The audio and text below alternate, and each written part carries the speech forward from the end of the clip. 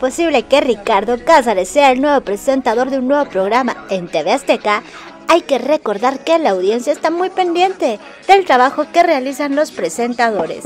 Y después de que este faltó unas semanas por un paro cardíaco, fue criticado por recibir un premio al mejor trabajador del mes. Así es, Ricardo Cázares, presentador de TV ha logrado llamar el interés por su trayecto frente a TV y seguramente por esta razón es que lo consideraron como una buena opción para ser el presentador del nuevo programa de Azteca.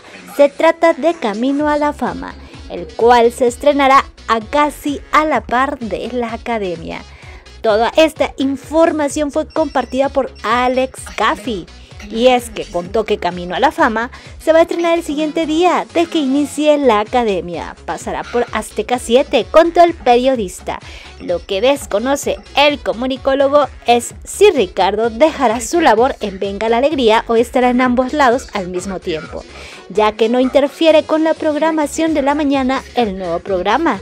El presentador que aparece en Venga la Alegría no estará solo, ya que a su lado aparecerá Vanessa Claudio. De acuerdo con la periodista Flor Rubio, esta conductora también aparecerá en Camino a la Fama, así que tendremos dos presentadores de lujo en el nuevo programa de la televisora de la Jusco.